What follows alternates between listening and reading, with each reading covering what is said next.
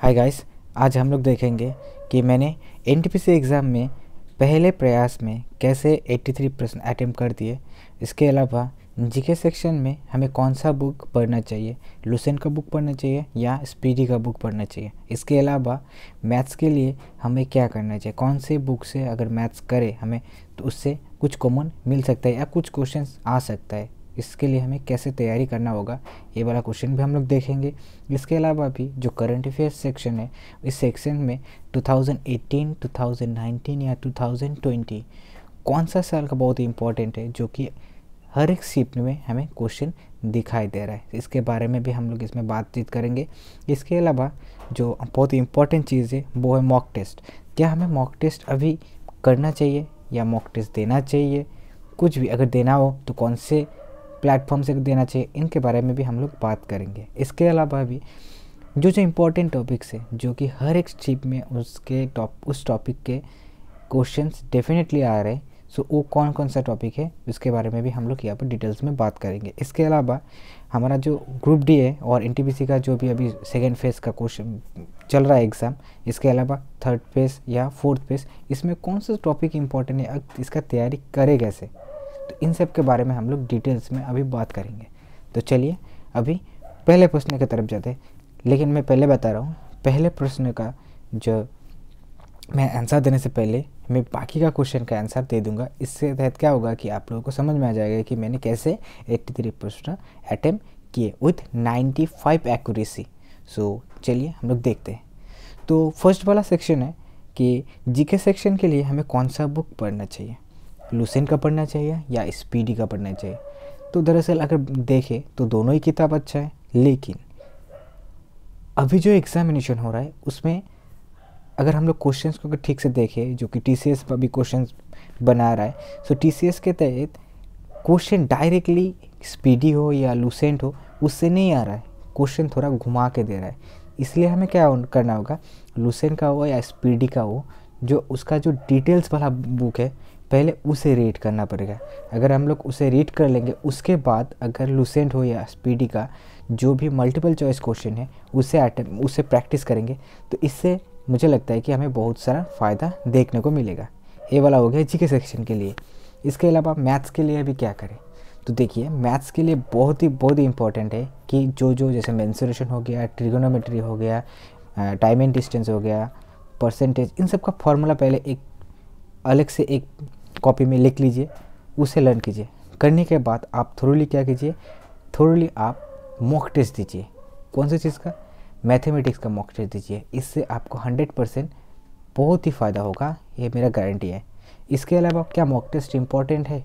तो देखिए, मैं अभी बात कर रहा हूँ कि मॉक टेस्ट क्यों इंपॉर्टेंट है और इंपॉर्टेंट नहीं है तो क्यों नहीं है।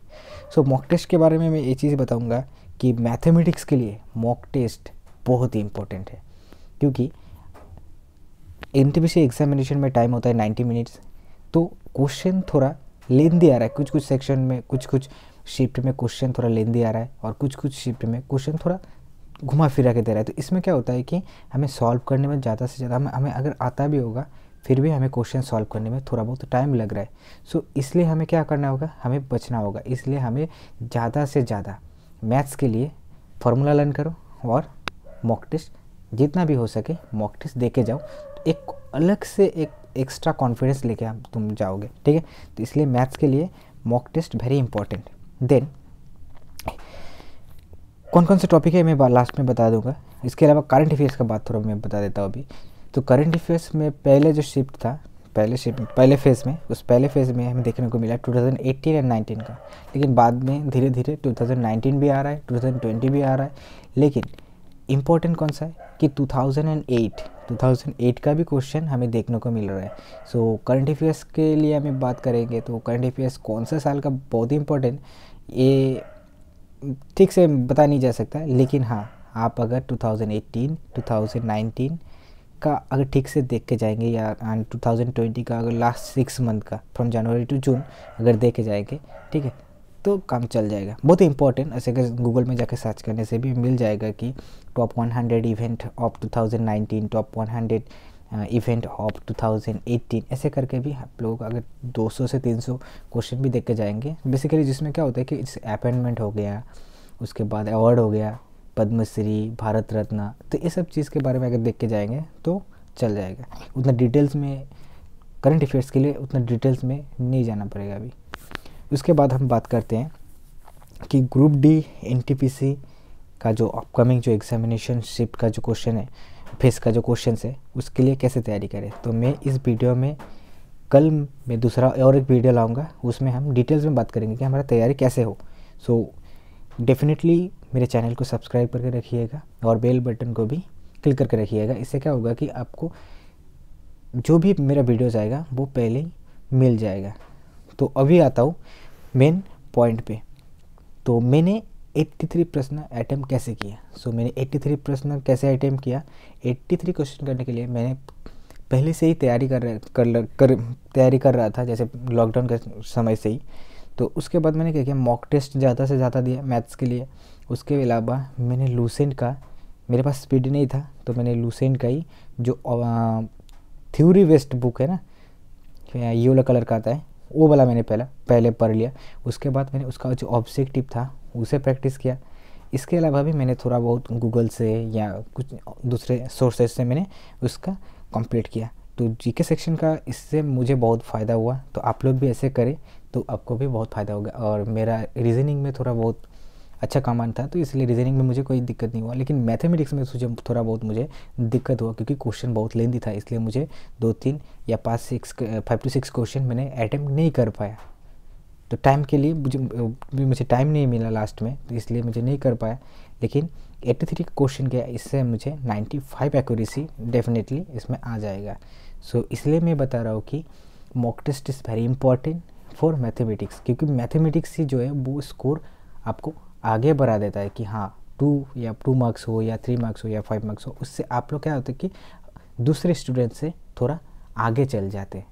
इसलिए फॉर मैथमेटिक्स आप मॉक टेस्ट डेफिनेटली दीजिए। और जो फॉर्मूला है मेंसुरेशन का हो गया अलग दूसरा चीज़ का हो गया प्रॉफिट लॉस का हो गया बोट एंड स्ट्रीम का हो गया टाइम एंड डिस्टेंस का हो गया, उसका फॉर्मूला लर्न कर दीजिए और मॉक टेस्ट दीजिए। तो मैथमेटिक्स का आपका हो जाएगा। रीजनिंग का भी थोड़ा देख लीजिएगा। रीजनिंग का भी एक बुक आता है, ये वाला कलर का, मोटा वाला बुक आता है। सो उससे भी काम चल जाएगा, क्योंकि भेन डायग्राम आ रहा है। उसके अलावा कोडिंग डिकोडिंग कोडिंग डिकोडिंग में थोड़ा दिक्कत आ सकता है, अगर आप लोग ज़्यादा से ज़्यादा प्रैक्टिस नहीं किए हो, क्योंकि कोडिंग डिकोडिंग में थोड़ा डिफ़िकल्ट लेवल आ मतलब मॉडरेट लेवल का क्वेश्चन आ रहा है। तो लास्ट में मैं अभी बता देता हूँ कि इम्पोर्टेंस टॉपिक कौन कौन सा है, जो जिससे क्वेश्चन हर एक शिफ्ट में पूछा जा रहा है। तो चलिए देखते हैं। तो देखिए फ़र्स्ट है गांधिया नेरा मतलब गांधी जी से गांधी महात्मा गांधी जी, ऐसा ऐसा इंपॉर्टेंट टॉपिक है जिससे हर एक शिफ्ट में क्वेश्चन पूछा जा रहा है। बीच में थोड़ा नहीं आया था, लेकिन इसका बहुत इंपॉर्टेंट है। इसे हमें ज़रूर देख के जाना है। जैसे क्वेश्चन आया था कि साउथ अफ्रीका से महात्मा गांधी जी कब आए थे? इसके अलावा भी बहुत सारे ऐसे क्वेश्चन हैं जो घुमा फिरा के दे रहे थे इसलिए डिटेल्स में पढ़िएगा। तो इससे आपको बहुत फ़ायदा होगा। जो भी टॉपिक है जैसे गूगल मैप भी सर्च भी कर लेंगे कि गांधी नेरा या कुछ बुक से अगर देखेंगे तो तो डिटेल्स में पढ़िए। कहाँ पर गया कौन किसे ले गया स्टार्ट कैसे हुआ कब हुआ क्यों हुआ? सो ये डिटेल्स में देख लीजिएगा। तो इससे टॉपिक से एक, एक मार्क्स वन नंबर आपका डेफिनेटली मिल जाएगा। इसके अलावा इंपॉर्टेंट गवर्नमेंट स्कीम तो अब तक जो एग्जामिनेशन हुआ है, उसमें गवर्नमेंट स्कीम का क्वेश्चन वेरी वेरी इंपॉर्टेंट वो आ ही रहा है। जैसे हो गया कि बेटी बचाओ, बेटी पढ़ाओ, ये स्कीम कब स्टार्ट किया, कब स्टार्ट किया गया? इस टाइप का मतलब डिटेल्स में नहीं बता रहा है कि गवर्नमेंट जो स्कीम है, इसके बारे में पूछ रहा है कि कब स्टार्ट हुआ या इस गवर्नमेंट स्कीम का ऑब्जेक्टिव क्या है। यही चीज़ पूछ रहा है, इसके अलावा कुछ भी नहीं पूछ रहा है। इसके बाद नेशनल और इंटरनेशनल ऑर्गेनाइजेशन, जैसे हो गया सार्क, हो गया, इंडिया का हो गया B H E L so इन टाइप का क्वेश्चन आ रहा है। मतलब बहुत ही ईजी आ रहा है, अगर आप लोग सर्च करेंगे या किसी भी किताब में भी मिल जाएगा इन सब के बारे में गवर्नमेंट स्कीम के बारे में।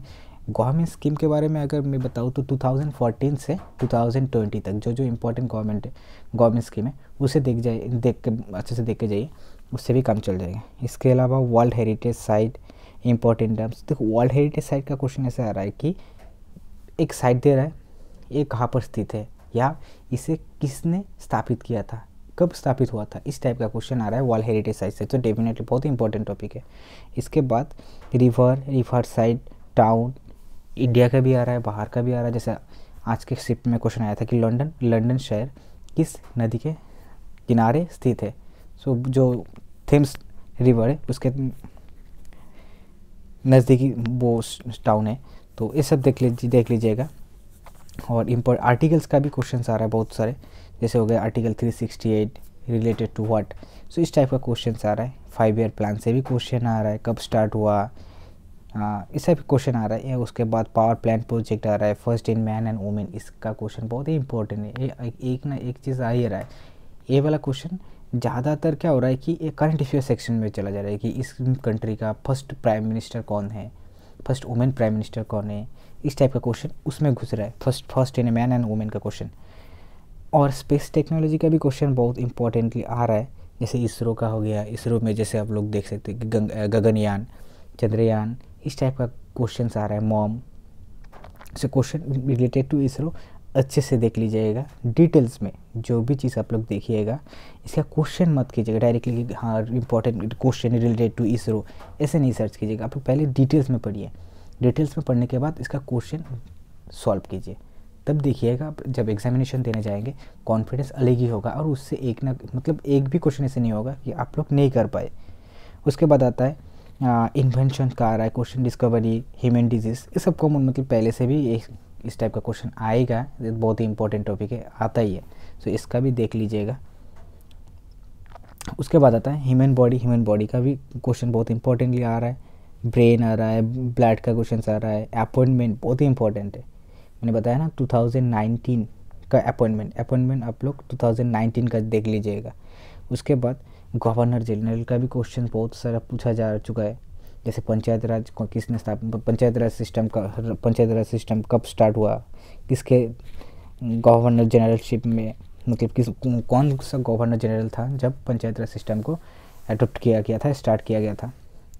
और इसके बाद जो मुग़ल डायनेस्टी है वो, इसका क्वेश्चन इस टाइप से घुमा के दे रहा है कि इसका टाइम पीरियड कौन सा है? जैसे दे रहा है कि बलवन, उनका टाइम पीरियड कौन सा था?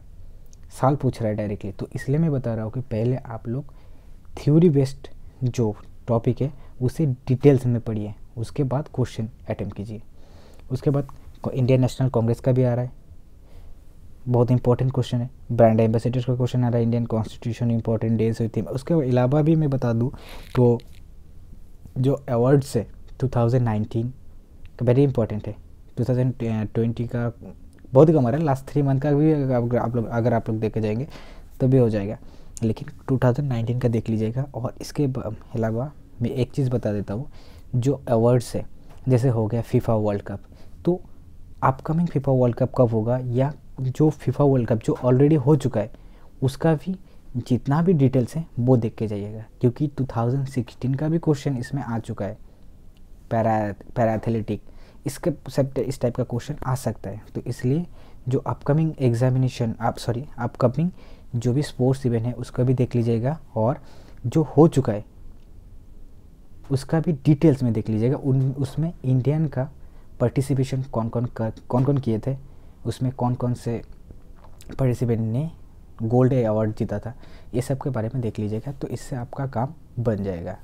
मुझे ऐसा लगता है कि अगर ये सब टॉपिक अगर आप लोग डिटेल्स में देखेंगे, अगर थोड़ा थ्योरी बेस्ड अगर पढ़ लेंगे, उसके बाद अगर इसका क्वेश्चन रिलेटेड टू रिलेटेड इस टॉपिक पर्टिकुलर टॉपिक के रिलेटेड जो भी क्वेश्चन है, उसका अगर सॉल्व कर लेंगे तो इससे आपका डेफिनेटली 25 से 32 तक क्वेश्चन डेफिनेटली कॉमन आएगा। ये मेरा गारंटी है। तो इसलिए तो चलिए वीडियो बहुत लेंदी हो जा रहा है तो मैं आज यहाँ पर यहाँ पर स्टार्ट यहाँ पर शेष ख़त्म कर देता हूँ। तो बने रहिए वीडियो इस टाइप का वीडियो में से। सब्सक्राइब कर लीजिएगा और कमेंट में बताइएगा कि आपका कोई भी क्वेश्चन होगा तो कमेंट में बता दीजिएगा, मैं उसका आंसर दे दूँगा। और कल मेरा नेक्स्ट दूसरा वीडियो आ जाएगा, उसमें मैं बताऊँगा कि अपकमिंग जो एनटीपीसी का जो फेस का जो क्वेश्चन मतलब एग्ज़ाम है और ग्रुप डी भी आ रहा है एग्ज़ामिनेशन सो इसकी तैयारी कैसे करें? तो इसके बारे में आप चैनल में बने रहिए और जो भी क्वेश्चन हो, वो देते रहिएगा। So thank you for watching my videos